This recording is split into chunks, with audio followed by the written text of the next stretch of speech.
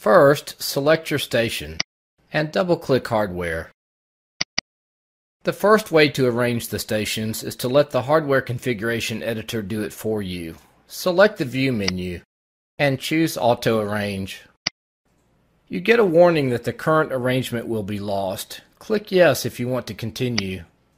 The Hardware Configuration Editor then rearranges the stations. The second method is manual. You arrange the stations by dragging them around.